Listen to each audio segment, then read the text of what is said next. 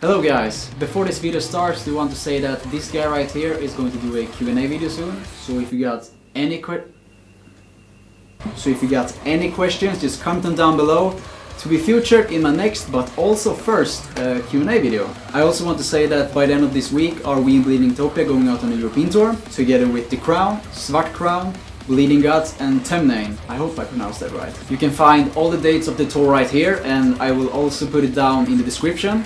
If you live close by or want to say hi, just come down and uh, listen to some heavy music and have a fun time with us. So, let's talk about Already Dead. This is the first song that we started to wrote on our new and upcoming album.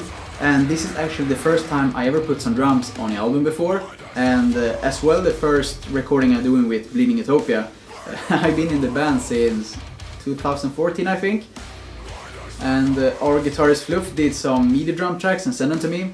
Uh, I played to them and I listened to them and I was like, some stuff is good and some stuff is not how I would have done it. So I changed some stuff and sent it, we sent the files back and forwards to each other and that's pretty much how we did the drums for the whole album. back to Already Dead. Already Dead is one of the mid-tempo songs on this album and I would say that it's overall a pretty easy song to listen to. I mean, it doesn't have those crazy fast blast beat parts or super sick uh, guitar shedding stuff, so overall it's a pretty straightforward song. And uh, just with any of the other songs on the album did I wanted to make the drum parts interesting, but not overplayed. So I wanted to find a good balance between that and uh, now when I have heard the album afterwards I'm pretty happy with it.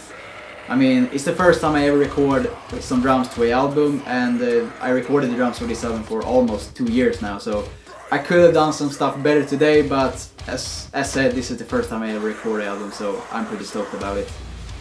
So yeah guys, let's move on to the playthrough video. Uh, I hope you guys will enjoy it and we will release the new album uh, in the beginning of next year. So stay tuned for that and uh, enjoy the video.